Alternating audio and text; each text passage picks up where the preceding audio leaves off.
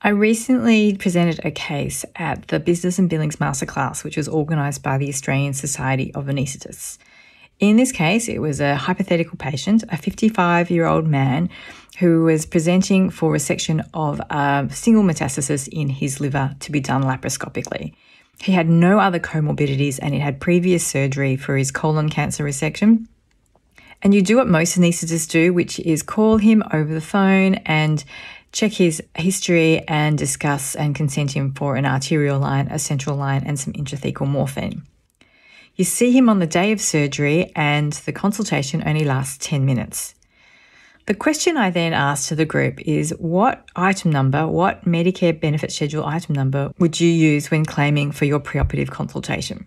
And 22% of people who responded said that they would use MBS item number 17615, whereas the remaining 80% said that they would use item number 17610. And I wanted to make a few points about using that longer item number 17615 because there are three components to using that item number so that you are compliant with Medicare. The first one is the duration. It has to last more than 15 minutes. The next has to do with the complexity of the case or the patient. And the third is to do with documentation.